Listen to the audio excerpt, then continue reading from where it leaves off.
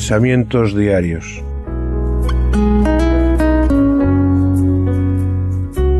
Sencillas pero profundas reflexiones para cada día de nuestras vidas. Meditaciones de la palabra de Dios nacidas de un corazón agradecido por su gracia y misericordia. Pensamientos diarios.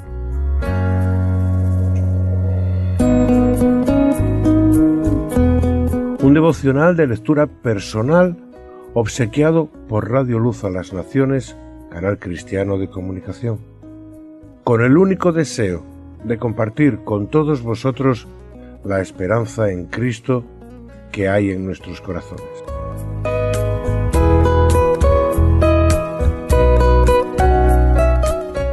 El arquero lo sabía.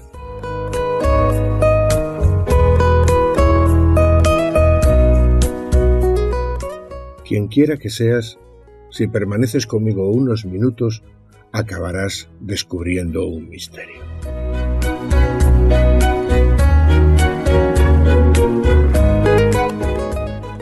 Era el verano de 1992. España estaba a tope. En Sevilla la Expo, en Madrid la movida y en Barcelona las Olimpiadas. No podíamos pedir más. Todo estaba preparado en Barcelona. Hasta el ahora rey Felipe VI, entonces príncipe, se apuntó como abanderado de todo un país que ni soñó nunca poder llevar a cabo tamaña empresa. Eran las 10 y 21 del 25 de julio de 1992, cuando llegó la hora de la verdad. Todas las delegaciones habían desfilado con sus sueños e ilusiones de victoria latiendo en sus corazones y de repente apareció un arquero. Sí, un arquero irrumpió en la escena junto a la antorcha olímpica. Y ante el asombro de millones de personas que presenciaban aquel evento a través de todas las televisiones del mundo, prendió su flecha en llamas, la lanzó y una estela de fuego se abrió paso en el oscuro cielo hacia el gran pebetero. El silencio en el estadio era sobrecogedor hasta que lo que parecía imposible sucedió. La flecha cayó en el pebetero y la llama olímpica iluminó el cielo de Barcelona. Todo esto hubiera sido maravilloso, que lo fue, aun si cabe si la flecha en verdad hubiera caído en el pebetero, pero no fue así. Hoy todos sabemos, y si tú no lo sabías, pues lo lamento. Lamento haberte descubierto el truco, pero la flecha tan solo pasó cerca del pebetero. No se podía correr el riesgo de que el arquero fallara e hiriera a algún espectador, por lo que se decidió que todo fuera una ilusión óptica. La flecha tan solo pasó junto al pebetero. Pero eso fue suficiente para dejar a todo un estadio y a medio mundo con la boca abierta de asombro. Pero no, no es este el misterio que aquí vamos a desvelar.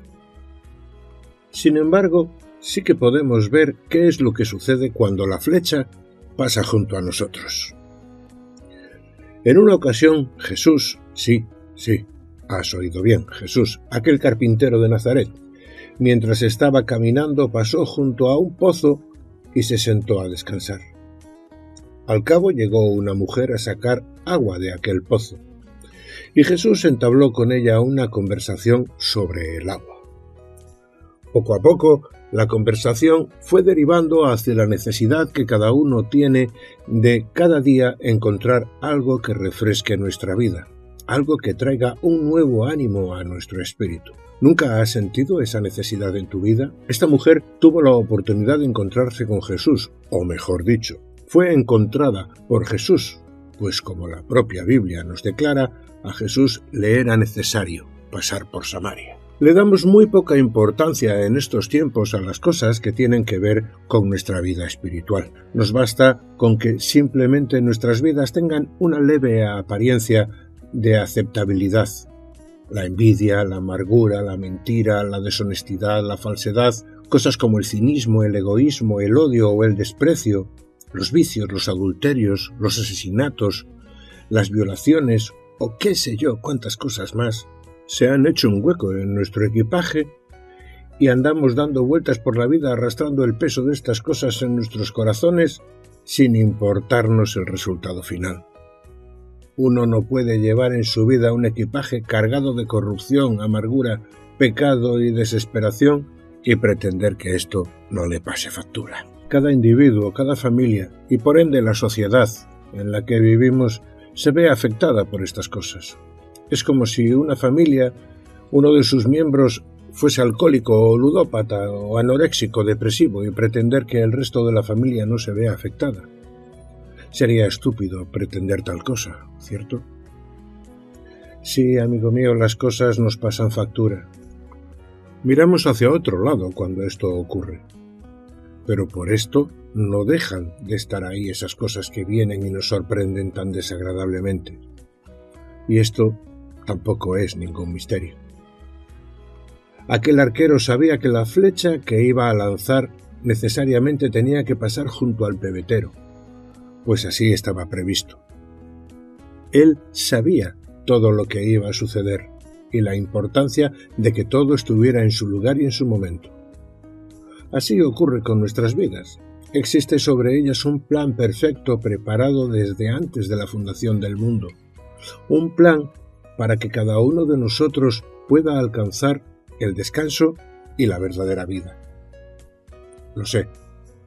Sé que en la mente de algunos rápido habrá venido el chiste fácil de sí, sí, pero lo que yo necesito no es un plan de salvación, es un plan de pensiones. Bueno, está bien, intenta llevarte ese plan de pensiones a la tumba. Busca de comprarte un billete de primera clase al cielo o tal vez pretendes esquivar la muerte sobornándola. Como os digo, existe para cada persona un plan perfecto, un plan de salvación nacido del corazón de Dios y cuyo destinatario eres tú, por lo que este plan de salvación es individual, es algo que desde el cielo fue llevado a cabo, un plan que comenzó en el cielo y que terminó aquí en la tierra con la muerte y resurrección de Jesucristo, y terminó aquí en la tierra por ti, para que tú puedas terminar en el cielo. Por lo tanto, hay algo muy importante en esto del plan de salvación. El plan de salvación no es global. Amigo mío, con esto vamos llegando a aclarar en parte el misterio. Jesús no murió por la humanidad. Jesús murió por una razón y tú eres esa razón.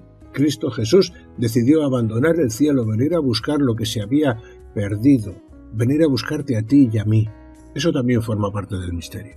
Que el sacrificio de la cruz fue, es y será por los siglos algo individualizado, algo a lo que cada individuo ha de reaccionar de un modo personal. Así que, ¿qué vas a hacer con Jesús? Él está ahí colgado en la cruz, con sus manos clavadas al madero por los clavos de tu pecado, entregándose a la muerte para que tú puedas ser salvo por toda la eternidad. Y con una única propuesta que aceptes en tu corazón este sacrificio como el único puente entre tú y una eternidad en gloria junto a Él. Tal vez a lo largo de tu vida hayas escuchado, te dijeron, oíste, estudiaste que Jesús murió por la humanidad y que como tú formas parte de esa humanidad, pues ya está, ya estás en el saco de los salvos. Pero no, lamento decirte que esto no funciona así. Y aquí llegamos a la resolución del más maravilloso misterio que ha podido plantearse en la humanidad. Cristo murió por ti, y eso es algo de lo que tú puedes ser beneficiario tan solo si lo recibes en tu corazón como Señor y Salvador personal de tu vida. En el Evangelio de Juan, en el capítulo 1, en el verso 12, está una de las claves más importantes de este misterio. Hablándonos de Jesús y de su propósito de venir a este mundo, el apóstol Juan nos dice, Mas a todos los que le recibieron, a los que creen en su nombre, les dio potestad de ser hechos hijos de Dios. Solamente puede ser a través del compromiso que podemos acceder a ser beneficiarios del sacrificio de Cristo. Dios, desde el cielo, ha preparado un plan de salvación eterno para cada uno de nosotros, y ese plan es el sacrificio de la cruz de Cristo Jesús, al que tan solo podemos acceder si reconocemos que entre esos pecadores por los que Él murió, tú y yo, somos el primero, y que necesitamos acogernos a ese sacrificio en un modo íntimo, voluntario y personal, reconociéndonos necesitados de ese beneficio que se ofrece desde la persona de Cristo en su cruz, aceptándolo como nuestro Señor para poder así recibirlo como nuestro Salvador. A Jesús le era necesario pasar por Samaria para llevarle a aquella mujer su mensaje de esperanza y salvación. Y hoy desde aquí, desde este mensaje, está intentando llegar a tu corazón. Está intentando alcanzarte como aquella flecha de las Olimpiadas que al pasar cerca del pebetero iluminó el cielo de Barcelona. Así busca Jesús iluminar tu vida con su mensaje de salvación. El arquero sabía lo que iba a suceder cuando se encendiese la llama olímpica. Sabía que todos iban a vivir un momento maravilloso. Así Jesús y todas las legiones de ángeles del cielo esperan el momento en el que tu alma sea iluminada por la luz del Evangelio y tu alma pueda brillar como una lámpara que acabe trayendo la luz a los que aún viven en tinieblas, y que puedas así vivir una vida maravillosa con Cristo en tu corazón. Así que si has llegado hasta aquí, si has tenido paciencia para escucharnos, habrás alcanzado a comprender que Cristo vino a este mundo por ti, y que no fueron los clavos lo que le retuvieron en la cruz, fue el inmenso amor por ti lo que le sostuvo ahí arriba, y que hubo también una fuerza que lo hizo volver de la muerte, su amor por ti. Porque hay un solo Dios y un solo mediador entre Dios y los hombres, Jesucristo hombre. Primera carta a Timoteo, capítulo 2, verso 5. Que Dios os bendiga. Pensamientos diarios meditando en la palabra de Dios. Santificad a Dios el Señor en vuestros corazones, y estad siempre preparados para presentar defensa con mansedumbre y reverencia ante todo el que demande razón de la esperanza que hay en vosotros.